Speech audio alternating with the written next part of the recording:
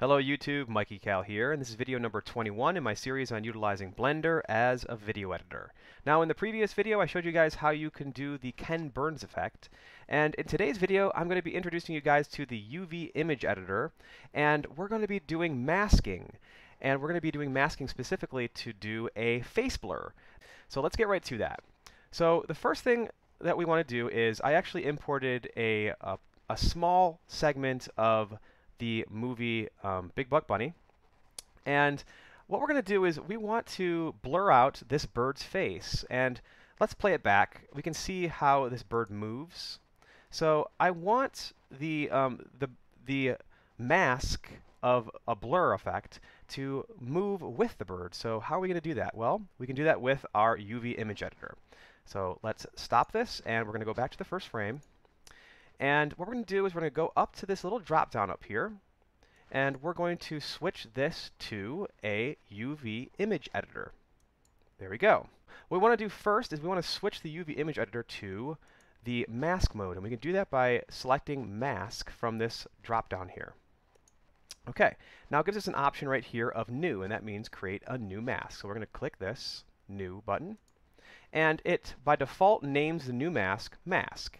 But we're going to make a blur mask, so I'm just going to call it blur. Hit enter. There you go. And now uh, we can actually start creating our mask. Now you'll notice this little thing right here. You can ignore that. In fact, we can actually just click our left mouse button, move it to the side. Uh, what do we need first before we create a mask? Well, we need a reference, first of all. I mean, I need to see where I'm going to place the mask. So what we're going to do is we're going to go to Open, and we're going to select the same video that we have in our uh, preview window. There we go. And I'll scroll down a little bit to get it to the same size or around the same size. Okay, so this side the, in the UV image editor, we're using this for a reference so that we can actually draw our mask over this and go frame by frame and see how the mask needs to change.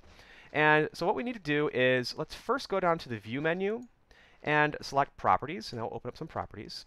And we need to click, let's pull this out a little bit. We need to click the Match Movie Length button and uh, check Auto Refresh. And that should be enough for us right now. Let's actually go back down to View, and we're going to close that.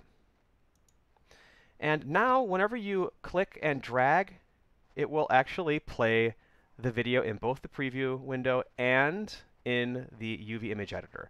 Now, it will not play in the UV image editor if you click the play button. This is just how it is. So let's go back to the first frame by clicking the little navigation button down here to the first frame. Now what do we want to do? We want to actually start drawing our uh, mask. And the way that you do that is you hold your control button down on your keyboard and while you're holding the control button down, you left click to place a marker right there. So we have our first little marker, and we want to draw a circle, so we just have to have a group of markers. So we're going to find another spot we want to place a marker, and I'm still holding down the control button and hitting my left button. We're just going to draw this around the face. I'm just clicking my left mouse button with my control button down. And you'll see that there's a gap between here, and we can zoom in with our mouse wheel. You can leave this gap here. It's actually nice to leave the gap there because you can actually see where the beginning and ending is. By default, uh, Blender will automatically connect the beginning and ending uh, uh, markers. But if you really wanted to actually see them connect, you can go down to the mask menu and you can click toggle cyclic and it'll actually close it. But I'd recommend not to do that because it's nice to know where the beginning and ending are. So let's undo that. Now, all we need to do is, we, we actually have a mask layer now. We just need to go frame by frame and make some changes to it. And this is where we're going to need to use this feature down here called Auto Keyframe Insertion. So if you click this on now, what will happen is Blender will automatically monitor if there's a change in shape or position of our mask, and it will actually insert keyframes automatically. And this is not the same kind of keyframe inserting that we have when we go to our dope sheet or our graph editor because we can't actually uh, view the keyframe insertions um, that are generated by the auto keyframe system in our graph or our dope sheet. It's completely handled 100% by Blender internally. And so what we're going to do is we have our general shape and we're on frame one and we're going to go down to our uh, arrow keys on our keyboard. And if you push the actual right arrow on your keyboard, it will actually take you single frame at a time. And you can see over here, it's showing each frame as we go forward, and it's also showing the green line moving.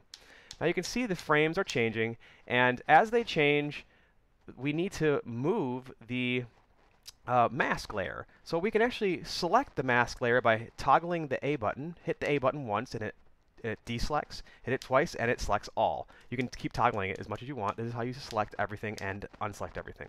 Now we can hit our G button, and we can drag it down and just place it somewhere around the, uh, where it's covering. There we go.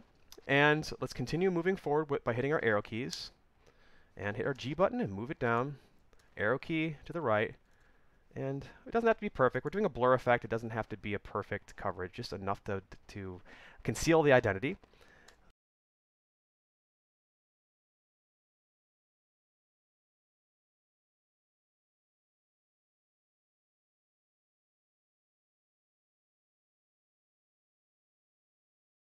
you can see this actually works pretty quickly. I mean, you can fly through this.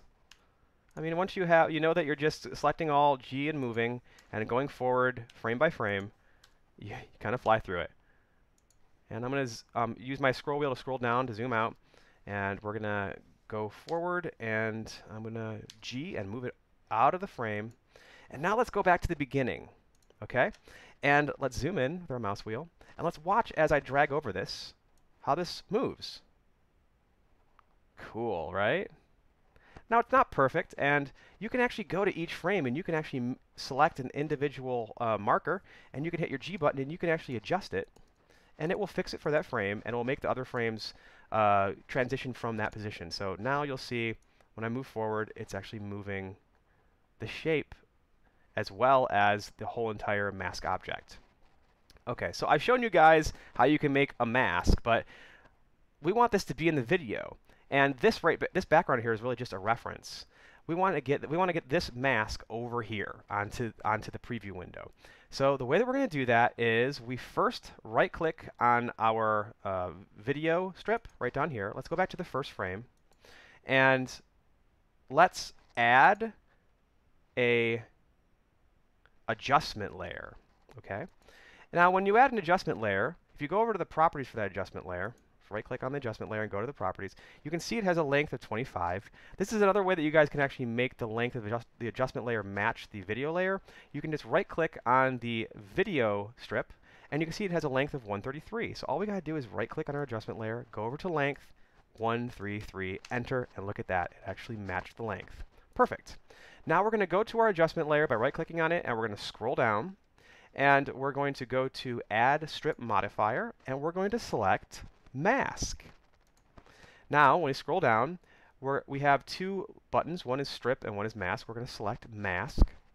And you see a little icon right here. It looks like a little mask. If you click on that with your left mouse button, it will present all of the masks that we have available to Blender. And we only made one. It's called Blur. So let's click on that. Now you can see, let's actually scroll over this, and we'll see it's selecting a specific area that we're, that's going to be viewable. See how it looks in the actual preview window? Now it's not perfect, but this will do the job for just doing a face blur. Let's go back to the first frame. Now we want to blur this, and we also want to be able to see the rest of the background. So what we need to do is we need to right-click on our adjustment layer. We're going to go to the Add menu and Effect Strip, and we're going to select Gaussian Blur. There we go. Now, just like we do with the video strips and uh, with the image strips, right-click on the adjustment layer, and we're going to hit the H button, which is the hide button. You can also go down to strip menu, and you could uh, select mute strips. It's the same thing. And now let's select our Gaussian blur layer with our right mouse button, and let's scroll up, okay? And what we're going to do is we're going to set the blend setting of our Gaussian blur to alpha over. And now you can see the, the actual total video, but it's not blurred. Why? Because we haven't set our blur setting. So make sure that you have the Gaussian blur strip selected, scroll down, and right down here in the effect strip section we have size X and size Y, and all you have to do is give a, a X and a Y value and it will blur it. So I'm going to blur it with a 20X and hit enter, and you can see how it blurred it and we'll do 20x or 20y. Enter.